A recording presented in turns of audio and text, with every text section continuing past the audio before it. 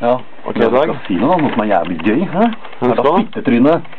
Uh, sitter bak det store kameraet sitt og tror det er så jævlig mye bedre enn meg fordi det er digitalkamera og jeg er et 8 mm kamera. Hæ? Hæ? Ja, jeg er det. Hvordan føl- følger du sendingen i går, Dag? Hva kommer du til å bidra med fremover med radioen? Nei. Men musikk, da.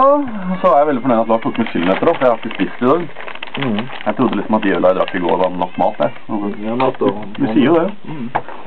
Og drikke sjokolade. Ja. Fin løsning.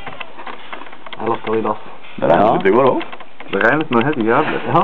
Blåst og Det er ikke meningen folk skal gå ut når det er sånn.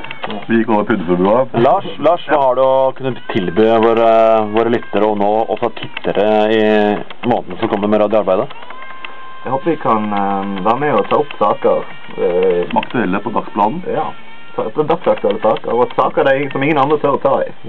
Kanskje litt sånn for eksempel helt øverst på tapetet istedenfor rett på midten. Ja. Nyhetstapetet, for eksempel. Ja, det tar vi. Interessant dagsstemme.